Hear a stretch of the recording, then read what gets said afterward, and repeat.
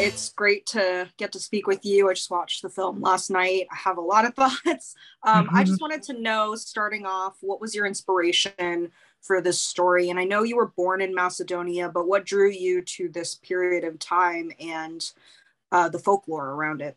Um, oh, I kind of just wanted to do something that transports you to another time and place, um, and especially uh, to capture this way of life that existed for thousands of years, not just in what is now Macedonia, but just like across that region, and it's very connected to you know agrarian lives all across the world. Um, and 19th century Macedonia was just my closest entry point. Um, I had to do the least amount of research.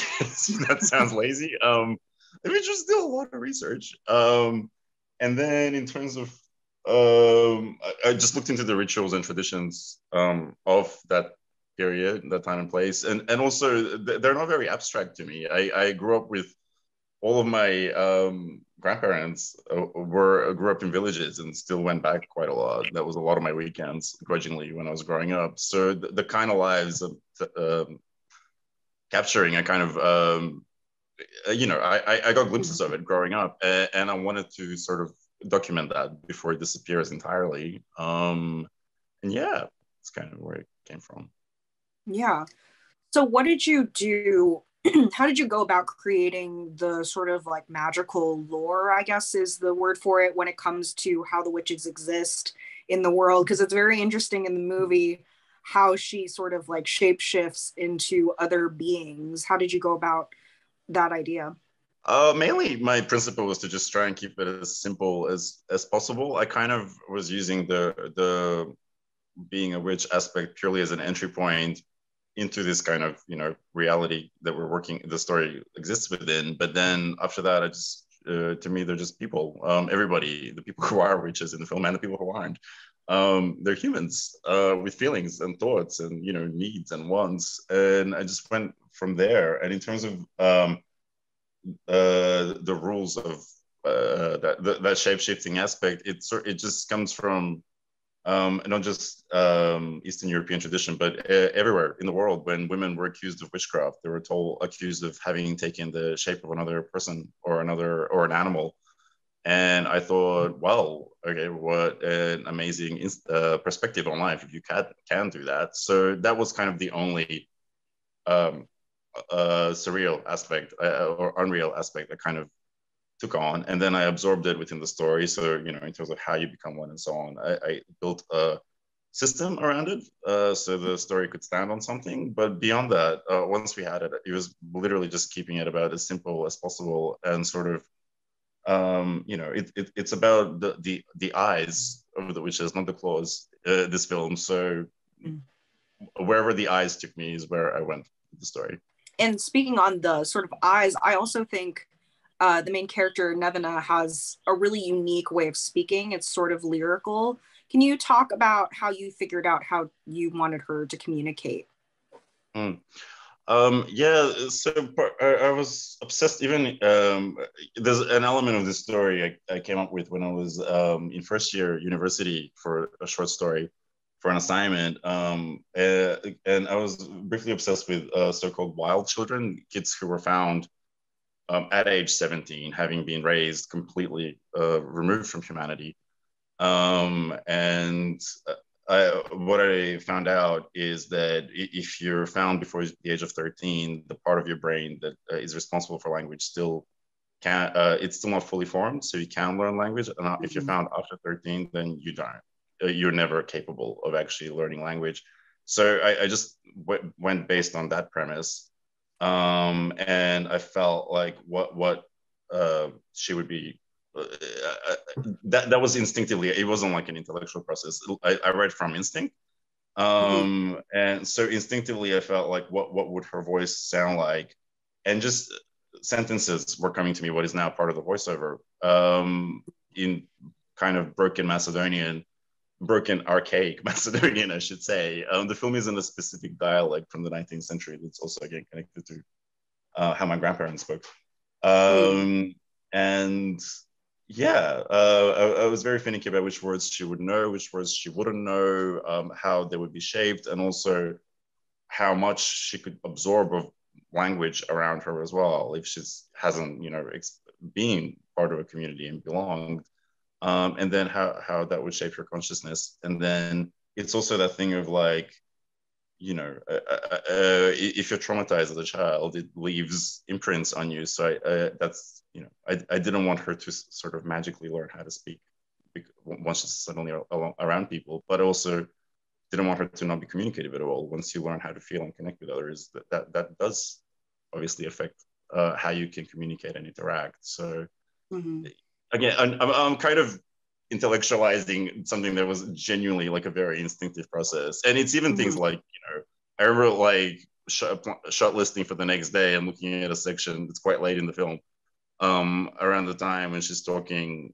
Anyway i, I, I won't uh, use spoilers but um, yeah I, I, I was in serbia. My husband was like in australia. And we were you know just communicating via zoom for about four months. And i remember like I just sent him a screenshot of the script, which he'd read years ago, and he just saw, and I didn't say anything, and he just saw the voiceover. He's like, "Oh my god, you're talking about me!" Like, you know, so it comes mm-hmm. from, so, uh, which to me, I'm like, I never write autobiographically. I don't really care about seeing myself on screen. I'm interested in other people more, but you know, it's a, it's a very instinctive process. And then, anytime I'm talking about it, I'm trying to kind of figure it out cerebrally. But even I don't know if I'm right when I say these things. It's purely instinct. But I feel like that's very much like the way you work. It feels like mm. everything mm. is out of you. You are all these women. You are the character, and like you know, finding way to belong, finding your voice. It, was very much you were the connecting tissue, and the and the, and you created a world for us.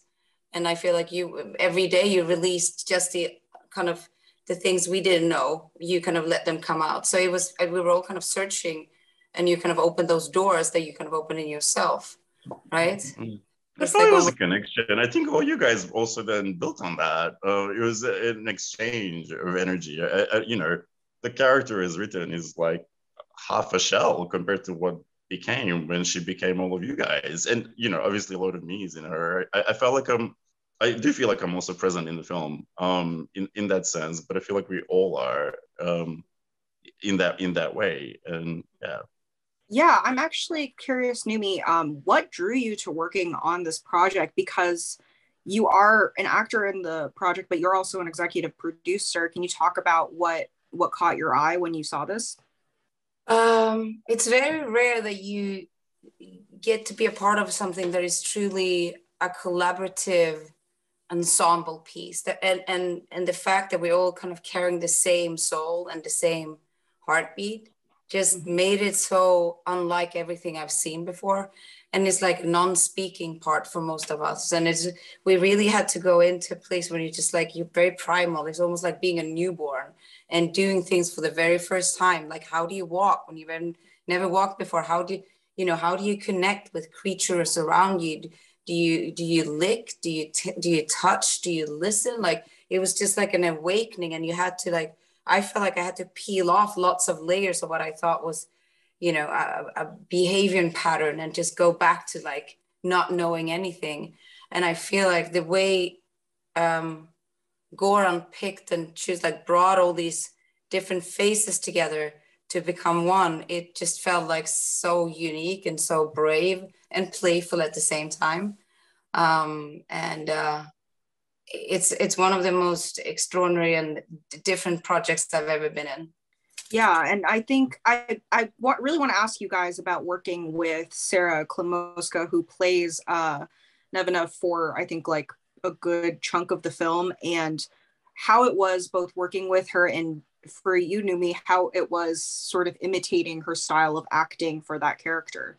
I mean, it didn't feel like it was I that's why I kind of meant with Goran was like the carrier, like he felt like he was the connecting tissue because we were not mimicking or like not copying each other. You kind of said you it felt like you kind of gave us clues. You gave us um, you planted small seeds in all the actors and then you kind of guided us to become the same sort of but it's that was also it just came so natural and you know, when I watched the film, I was just so blown away by her performance. It's like, you know, I cried and I was holding my breath and it's and I forgot that it was like you know kind of after a while you just forget forget that it's different actors you know this just become mm-hmm. one sort of um, and that's something you did goran i don't really know what you did you hypnotized us um, and also but also they, they, every actor brought something else to the character and then and we shot it completely out of order. Um, and a lot of the actors didn't even get to meet each other which was um, sad on a social level like creatively it was fine. But um no it was um i think yeah there's an energy that connects them. And then whoever brought something it, it wasn't that they were imitating each other. Like literally the film is in is about we often mistake becoming human as beha- behaviors and uh, ticks on the surface but it's really about what's inside. Um it's not becoming human on the outside it's becoming human on the inside. And it, it was sort of instinctively again the same approach with the actors. You describe what's going on the feelings the understandings of, of the world. Um I sort of uh, I spoke again about uh, the wild child phenomenon and how that that that shaped other people in the past, and uh, used examples of that. Um, and then in terms of whatever actor, if, if they kind of picked up a, a, you know behavioral pattern, I would tell the others who were coming up later on about it. Uh, they were always all informed about the full you know map of, of the character's internal world, mm-hmm. but um, no, there wasn't. There was definitely never any talk of like, oh, she does this like this, so you do this like this. Um, and also, obviously, the character Nevena grows through every iteration, and it's important if, if it becomes just the same thing. Um, it's not a very interesting film.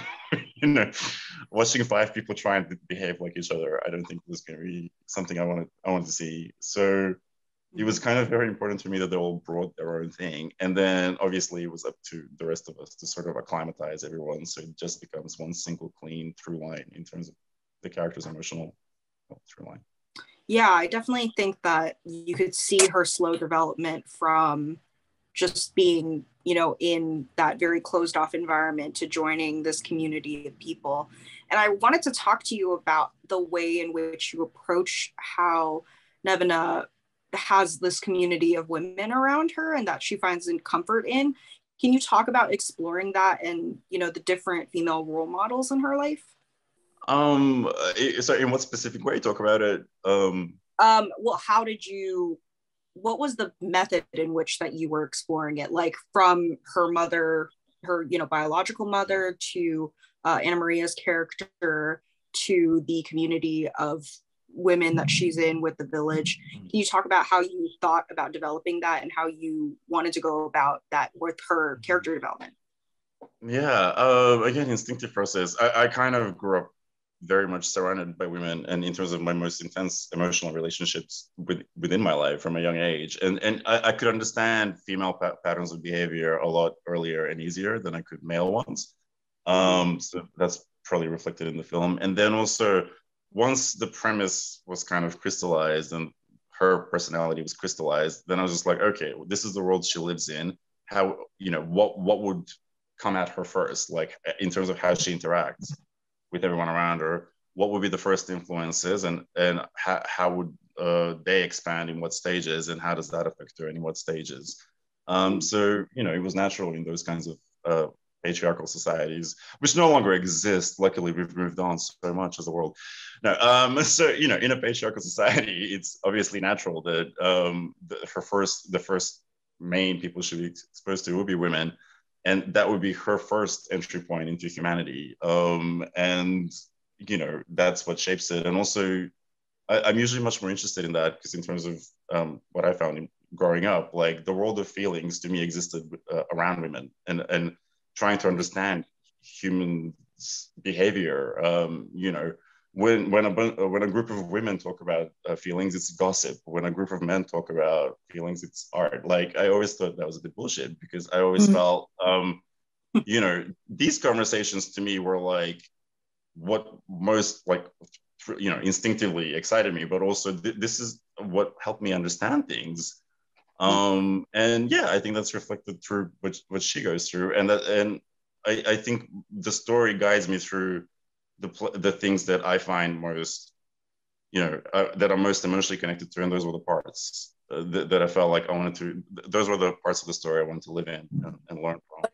It was. It's truly felt like you see the world kind of through female eyes. It was like the, when we mm. did this and you know, she's like, you know, a, a, woman is supposed to cry, like when a man comes in, and how you're supposed to behave around men, and you're supposed to, you know, um, do not look at them, but still, like this, all this, like, you know, the behavior mm-hmm. that so many women and girls we just do, you know. And then when you pointed it out, and it became when I saw the film and the full, like the full scale of this, it was like, it was really um, brutal in a way to see we're all like taught this way and you kind of in the simplicity of the story kind of made it really pop and how we all kind of sort of brainwashed to behave a certain way from a very early age as mm-hmm. girls you know and and it just became so so clear to me that you goran probably see it from a very you're probably closer to most women than women are well, I mean, it sort of does come from like when I was, you know, meant to be a boy growing up. Like the, the things that I connected to were not what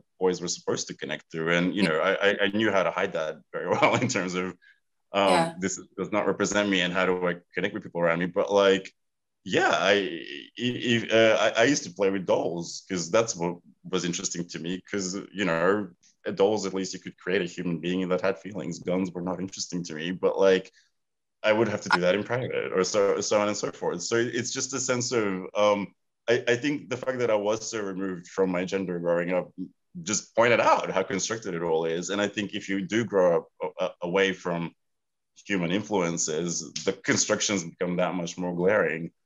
Um, the things that are strange to her, that are very commonplace to us, if you really stop to think about it, they are very strange. you know, they're really, really strange. Yeah for sure. And i i really like the way that was done and it seemed so obvious to her once she to us once we see her sort of react to it and feel like this is weird and this is not what my instinct would tell me to do. I really like that aspect of the film. So yeah i really want to thank you too for speaking with me and um, i hope people get to see this film. It's really was an eye-opener and it was i liked the balance of the horror and the more mundane slice of life moments in it it was really it was really great Thank you. Thank you so much. Lovely to meet you.